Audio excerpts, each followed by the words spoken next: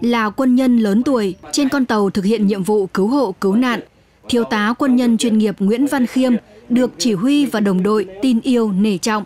Bởi nhiệm vụ nào, cho dù đó là khó khăn gian khổ nhất, anh cũng nỗ lực hoàn thành.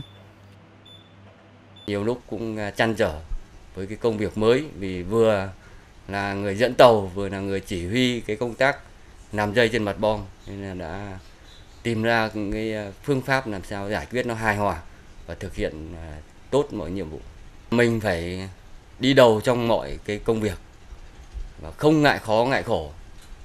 Từ đó để cán bộ chiến sĩ, anh em đồng chí đồng đội nhìn vào công việc của mình, thực tế của mình và người ta tín nhiệm. Còn đại úy quân nhân chuyên nghiệp Nguyễn Hải Đăng đã gắn bó với trạm radar 620 gần 20 năm nay. Đó cũng là chặng đường 19 năm liên tục anh đạt danh hiệu chiến sĩ thi đua cấp cơ sở. Không quản ngày đêm bám đài, bám vị trí, chấp hành nghiêm quy định trực canh, trực ca, tấm gương của anh đã lan tỏa trên các đài chạm radar ở vùng biển Tây Nam, góp phần nâng cao chất lượng quan sát, phát hiện mục tiêu trên không, trên biển.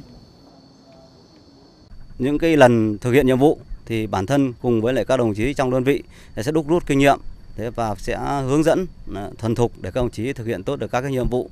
Đặc biệt về trang bị khí tài xác định đây là một yếu tố rất quan trọng. À, trong những năm tới thì cần phải nỗ lực phấn đấu nghiên cứu tìm tòi chuyên sâu huấn luyện cho bộ đội thực hiện tốt được các cái nhiệm vụ đặc biệt là thuần thục trong cái thao tác sử dụng trang bị khí tài. Đại úy Đăng, Thiếu tá Khiêm đã trở thành những tấm gương sáng ở vùng Nam Hải quân. Với nhiều giải pháp đồng bộ phong trào thi đua của vùng đã lan tỏa trong đời sống huấn luyện, học tập, trở thành hành động tự giác của mỗi cán bộ, chiến sĩ.